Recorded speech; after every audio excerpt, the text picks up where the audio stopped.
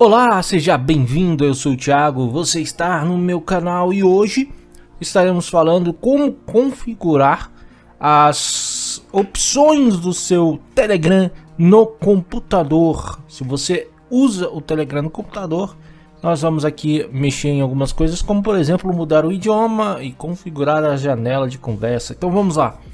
Primeira coisa, vamos mudar o idioma vindo em Settings e aqui você vai na opção Linguagem e escolhe o idioma Português Brasil e confirma em OK. Ele vai reiniciar. Aí vai voltar com idioma em português. Bom, você pode vir nos três riscos e agora em português ficará mais fácil em mexer nas configurações. Então vamos nas configurações e aqui vamos em editar e podemos definir uma foto de perfil nessa opção aqui. Clicando sobre ela, você procura uma foto de perfil no seu computador e coloca aqui dentro, tá?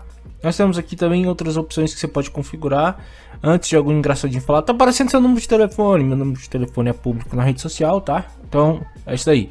E aqui você pode colocar aqui uma descrição sobre o tema do seu Telegram.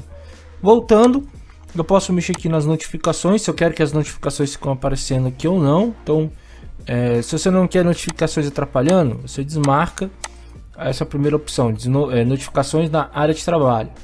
Aqui você pode desmarcar trocar de som, piscar ícone na barra de tarefa, eu vou deixar.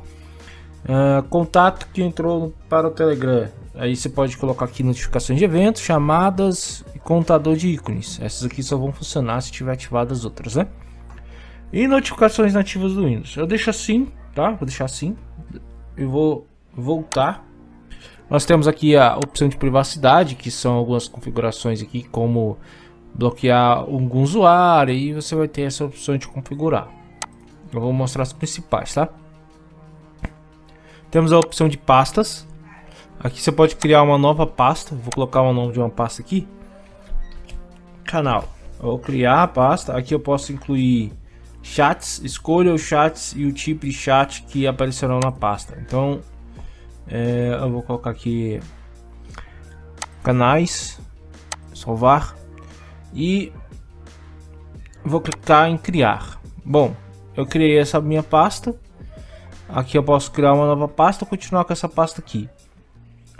O que, que a pasta faz? A pasta serve para você organizar seus contatos. Então, por exemplo, coloquei canal, então eu posso adicionar todas as os grupos e chats e conversas relacionadas ao canal. Se eu quiser colocar aqui, por exemplo, vou mudar amigos. Então eu posso organizar aqui os amigos do meu contato e jogar os amigos aqui dentro dessa pasta. Então eu acho que vou fazer isso mesmo. Então eu vou clicar aqui é, vou clicar em incluir mais chats e vou adicionar aqui alguns amigos.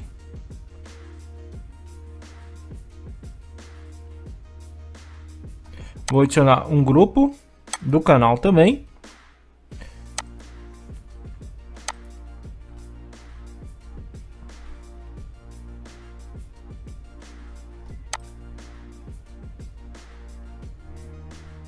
Você pode selecionar mais de um contato, não precisa ser um por um, tá?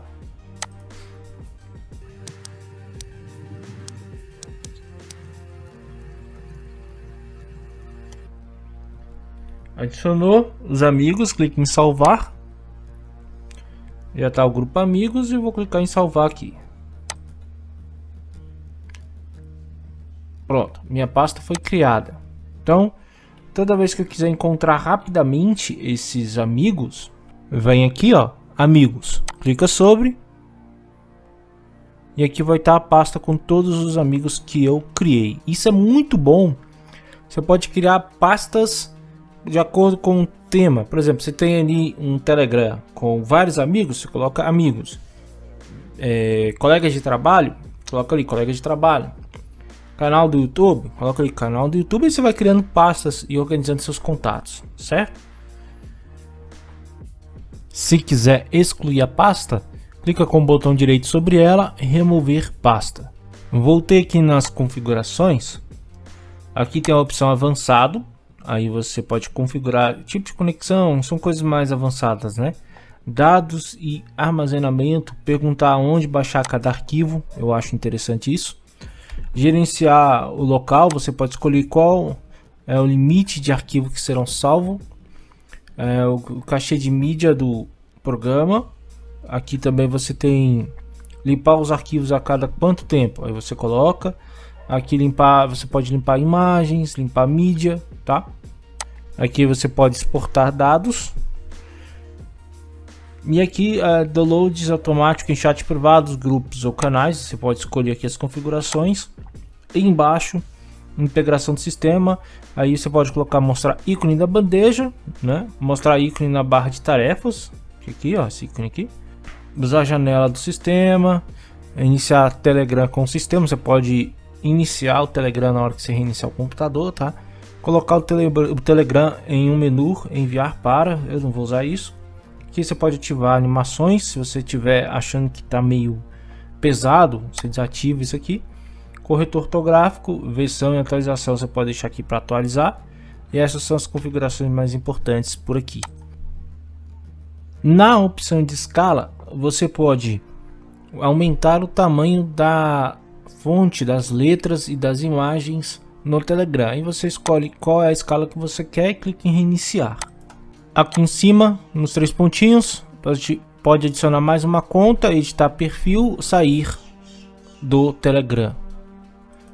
Então, como faz para mudar a imagem de fundo colocando a sua foto aqui no seu chat? É, indo nos três pontos aqui, configurações, configurações de chat. Aqui você escolhe o tema do chat, e aqui, escolher dos arquivos. Você seleciona a imagem, clicando sobre, vai aonde está a imagem. Minha está aqui na área de trabalho. Selecionou a imagem.